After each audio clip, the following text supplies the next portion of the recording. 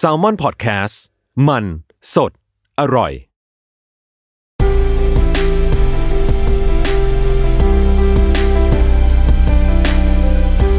อินเอียร์พ็อกเก็ตบุ๊กหลับตาฟังหนังสือ จากหนังสือ End of the Road ฉากสุดท้ายของชีวิต เขียนโดยโตมอนสุขปรีชา บทที่ 7 คิมอิวซอง มนุษย์ผู้ตายสองครั้ง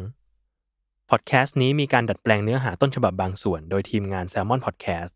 เพื่อให้ได้อัธรสในการฟังมากขึ้น 8 กรกฎาคม 1994 จู่ๆ ผู้ที่ถือได้ว่าเป็นพระเจ้าและพระอาทิตย์ แห่งเกาหลีเหนือ ก็หัวใจวาย ล้มลง แล้วก็ตาย เขามีอายุ 82 ปี แต่นั่นไม่ใช่ความตายครั้งแรกของประธานาธิบดีแห่งเกาหลีเหนือ ประวัติศาสตร์ของเกาหลีเหนือเต็มไปด้วยความลี้ลับ หลายเรื่องเป็นปริศนาที่ไม่เคยไข รวมถึงเรื่องราวความตายครั้งแรกของคิมอิลซอง เช่นกันฟีโอดอร์เทอร์ติตสกีผู้เชี่ยวชาญการเมืองกับการทหารของเกาหลีเหนือ และร่ำเรียนจนจบปริญญาเอก ด้านสังคมวิทยา จากมหาวิทยาลัยแห่งชาติโซล รวมทั้งเป็นผู้เขียนหนังสือ North Korea Before Kim Il Sung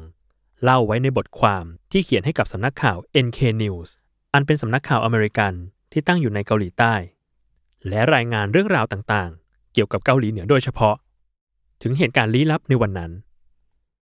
นี่อาจเป็นเหตุการณ์แปลกประหลาดที่สุด ในประวัติศาสตร์ของเกาหลีเหนือก็ได้ พฤศจิกายน 1986 คือเดือนเรียบง่ายแสนธรรมดา ไม่ได้มีเหตุการณ์อะไรพิเศษ สหรัฐอเมริกาอยู่ในยุคของประธานาธิบดีโรนัลด์เรแกนกำลังมีการเลือกตั้งสภาผู้แทนราษฎร ส่วนในสหภาพโซเวียต มิคาอิลกอบาชอฟกำลังดำเนินนโยบายต่อต้านการดื่มสุรา ขณะที่ประธานาธิบดีชอนดูฮวาน แห่งเกาหลีใต้ เริ่มรู้สึกว่าประชาชนไม่พอใจตัวเอง เนื่องจากมีปัญหาคอร์รัปชันและอำนาจของเขาก็เริ่มจะอ่อนแอลง เป็นวันธรรมดาธรรมดาอย่างนี้นี่เอง ที่จู่ๆก็เกิดเหตุการณ์ประหลาดขึ้น ในเช้าวันที่ 15 พฤศจิกายน 1986 มีรายงานข่าวชิ้นเล็กๆ ในหนังสือพิมพ์ของเกาหลีใต้ ชื่อโชซังอิวโบ รายงานถึงข่าวลือในญี่ปุ่น ว่าคิมอิลซองเสียชีวิตแล้ว แต่ข่าวลือเช่นนี้ไม่ใช่เรื่องแปลก เพราะลือกันมานานแล้ว ลือกันได้ลือกันดี ว่าคิมอิลซองตาย ดังนั้นจึงไม่มีใครสนใจเท่าไหร่ สิ่งที่ทำให้คนเริ่มสนใจเรื่องนี้อย่างจริงจัง เริ่มขึ้นในวันถัดมา และมันมาจากเกาหลีเหนือเอง เส้นแบ่งเขตแดนระหว่างเกาหลีเหนือและเกาหลีใต้ เกิดขึ้นในปี 1953 หลังจากสงครามเกาหลี ทั้งสองฝั่งต่างก็มีทหารประจำการอยู่อย่างแข็งขัน แน่นอน สองฝากฝั่งนี้ไม่ใช่ดินแดนธรรมดาธรรมดา เมื่อมีทหารประจำการอยู่ตรงนั้น และทหารทั้งสองฝั่งพูดภาษาเดียวกัน จึงเกิดการโฆษณาชวนเชื่อ ด้วยการส่งเสียงไปมาระหว่างกันอยู่เสมอ โดยเฉพาะการโฆษณาชวนเชื่อของฝั่งเกาหลีเหนือ ซึ่งใช้ไมโครโฟนขนาดใหญ่ คอยบอกก้าวเล่าสิบว่าเกาหลีเหนือกำลังรุดหน้าในเรื่องไหนอย่างไรบ้าง และอัจฉริยภาพที่ไม่อาจมีใครทัดเทียมได้ของคิมอิลซองนั้นเป็นอย่างไรบ้าง ซึ่งฝั่งเกาหลีใต้ ก็จะโต้ตอบกลับไป ด้วยการเป่าประกาศความเหนือกว่าของเสรีนิยมประชาธิปไตย แต่ในวันที่ 16 พฤศจิกายน 1986 จู่ๆฝั่งเกาหลีใต้ก็ได้ยินเสียงดนตรีเศร้าส้อย ดังมาจากฝั่งเกาหลีเหนือ มีแต่เสียงดนตรีเท่านั้น ไม่มีการประกาศอะไร หลังจากนั้นไม่นาน ฝั่งเกาหลีเหนือก็เริ่มอ่านประวัติของคิมอิลซอง ผ่านไมโครโฟน บางครั้งก็ดังที่สถานีหนึ่ง บางครั้งก็ไปดังที่อีกสถานีหนึ่ง ซึ่งอยู่ห่างกันกว่าร้อยกิโลเมตร เป็นการอ่านประวัติ พร้อมกับสรรเสริญความยิ่งใหญ่ของผู้นำไปด้วย ฝั่งเกาหลีใต้เริ่มสงสัยว่าเกิดอะไรขึ้น แล้วตอนค่ำของวันนั้นเอง ข่าวที่ช็อกทุกคนก็ดังขึ้น นั่นคือเสียงประกาศ ว่าคิมอิลซอง ถูกยิงและเสียชีวิตแล้ว คิมจองอิลลูกชายคนโต จะขึ้นเถลิงอำนาจแทนพ่อ โดยได้รับตำแหน่งประธานาธิบดี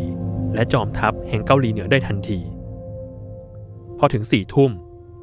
ก็มีการลดธงเพื่อแสดงความไว้อาลัย แน่นอน 17 พฤศจิกายนย่อมกลายเป็นวันอันวุ่นวาย กระแสข่าวเรื่องคิมอิลซองเสียชีวิต เริ่มแพร่กระจายไปทั่วโลก นอกจากนี้ มีรายงานจากสายลับญี่ปุ่น ว่าช่วง 1-2 วันก่อนหน้านั้น มีคนระดับสูงในเกาหลีเหนือหลายคนหนีออกไปอยังจีน มีรายงานของสำนักข่าวเกียวโด ว่าทูตเกาหลีเหนือในจีนถูกเรียกตัวกลับบ้าน และมีรายงานว่าตั้งแต่วันที่ 10 พฤศจิกายนเป็นต้นมา สื่อของรัฐ หยุดเอ่ยถึงคิมอิลซองอย่างสิ้นเชิง ซึ่งเป็นเรื่องแปลกประหลาดมาก เพราะปกติจะต้องมีการสรรเสริญท่านผู้นำตลอดเวลา ยิ่งกว่านั้น ยังมีการสั่งให้ยกเลิกเที่ยวบินที่บินเข้าออกเกาหลีเหนือ ในช่วงวันที่ 16 ถึง 19 พฤศจิกายน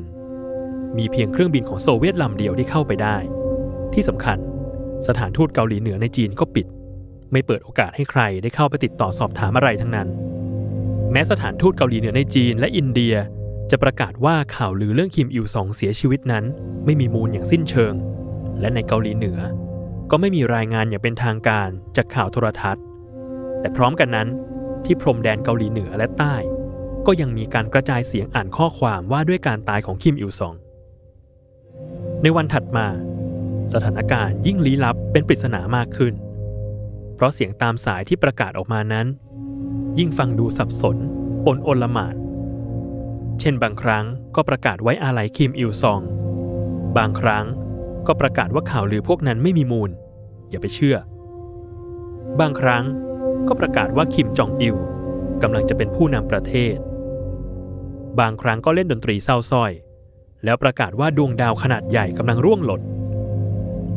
บางครั้งก็ประกาศว่าคิมอิลซองลาออกจากตำแหน่งแล้ว และคิมจองอิล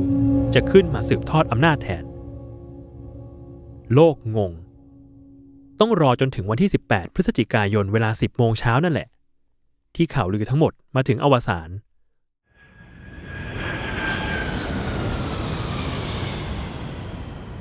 คิมอิลซอง ปรากฏตัวที่สนามบินเปียงยาง เพื่อต้อนรับตัวแทนจากประเทศมองโกเลียที่มาเยือนเกาหลีเหนือ และในทันใดนั้น ประกาศเกี่ยวกับคิมอิลซองที่ชายแดนก็หยุดลง หยุดลง โดยไร้คำอธิบายใด ๆ ทั้งสิ้น รั้งหนึ่ง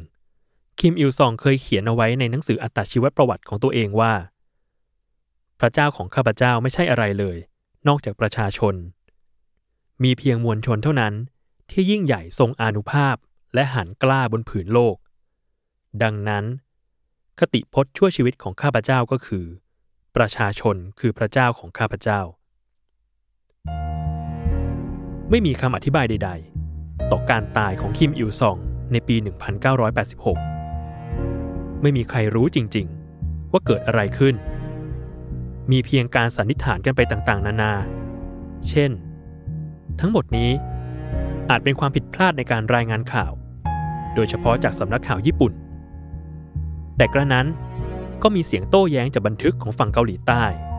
ว่าคำประกาศเสียงตามสายต่างๆ จากเกาหลีเหนือที่บันทึกเอาไว้นั้น แม้จะมีมากมายเป็นสิบสิบจุด เรียงรายอยู่ตามพรมแดน แต่ทุกจุดประกาศแบบเดียวกัน พูดได้ว่ามีความพยายามจะส่งสารแบบเดียวกันออกมา ก็แล้วจะเป็นการรายงานข่าวผิดพลาด ถึงขั้นก่อให้เกิดความปั่นป่วนไปแทบจะทั่วโลกได้อย่างไรเราข้อสันนิษฐานที่ 2 ก็คือ หรือนี่จะเป็นแผนลับของฝั่งเกาหลีใต้เอง เพราะตอนนั้น ประธานาธิบดีชอนดูฮวานกำลังย่ำแย่ ประชาชนเริ่มรู้สึกว่าเขาคอร์รัปชันและเป็นเผด็จการ เขาจึงต้องพยายามสร้างข่าว เพื่อกลบเกลื่อนบิดเบือนสิ่งที่เกิดขึ้นตรงหน้า แต่ถ้าเป็นอย่างนั้นจริง ก็ต้องร่วมมือกับผู้คนมากมาย เกินกว่าจะปกปิดเป็นความลับได้ ที่สำคัญก็คือ แม้กระทั่งนักศึกษาของเกาหลีเหนือในจีนช่วงเวลานั้น ก็ยังถอดเข็มกลัดรูปคิมอิลซองที่ต้องกลัดอยู่ตลอดเวลาออก ซึ่งก็แน่นอน ไม่มีใครอธิบายอะไรให้ใครฟัง ข้อสันนิษฐานที่ 3 ก็คือ หรือจะเกิดรัฐประหารเงียบในเกาหลีเหนือ เป็นไปได้ไหมว่า อาจมีกองกำลังพยายามลุกขึ้นมาต่อต้านคิมอิลซอง หรืออาจจะเป็นคิมจองอิลเองนั่นแหละ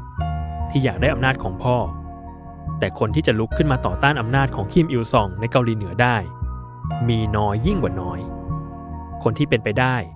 ล้วนแล้วแต่ยังอยู่ในอำนาจร่วมกับคิมอิลซอง จนเขาเสียชีวิตจริง ๆ ในปี 1994 คิมจองอิลเองก็ไม่ได้มีท่าทีที่เป็นปฏิปักษ์กับพ่อเลย ทั้งหมดนี้จึงน่าจะเป็นไปไม่ได้อีกนั่นแหละ แล้วคำอธิบายที่เป็นไปได้คืออะไรล่ะ ทั้งหมดนี้ดูเหมือนจะสรุปได้ที่คำคำเดียว นั่นคือเป็นไปได้ไหมว่าคิมอิลซองกำลังซ้อมตาย เพื่อที่จะลองตรวจสอบดูว่า โลกคิดเห็นอย่างไรกับการตายของเขา โดยเฉพาะเกาหลีใต้ เช่น หากรู้ว่าคิมอิลซองเสียชีวิต เกาหลีใต้จะบุกเกาหลีเหนือเลยไหม และโลกจะตอบสนองอย่างไร แต่กระนั้นก็ไม่เคยมีคำอธิบายอะไรออกมาจากเปียงยาง ไม่มีใครรู้จริงๆ ว่าเกิดอะไรขึ้นในปี 1986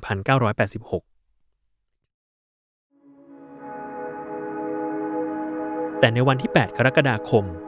1994 เป็นอีกเรื่องหนึ่ง เมื่อผู้ที่ถือได้ว่าเป็นพระเจ้า และพระอาทิตย์แห่งเกาหลีเหนือ หัวใจวาย ล้มลง แล้วก็ตายอย่างกระทันหันในวัย 82 ปี เกาหลีเหนือใช้เวลาราว 30 กว่าชั่วโมง ก่อนจะประกาศความตายนั้นออกมาให้โลกได้รับรู้ งานศพของเขาที่เปียงยาง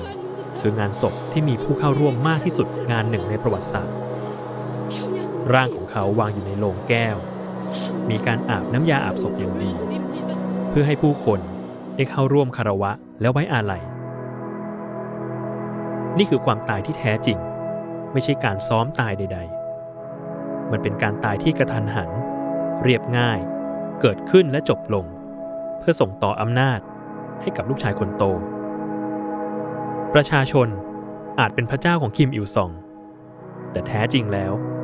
พระเจ้าของเราทุกคนก็คือความตาย เป็นความตายที่จะมาถึงเราทุกคนในสักวันหนึ่ง ไม่ว่าเราจะคิดว่าตัวเองยิ่งใหญ่ หรือต่ำต้อยเพียงใดก็ตาม ติดตามรายการ In Ear Pocket Book ได้ทุกวันอาทิตย์ ทุกช่องทางของ Salmon Podcast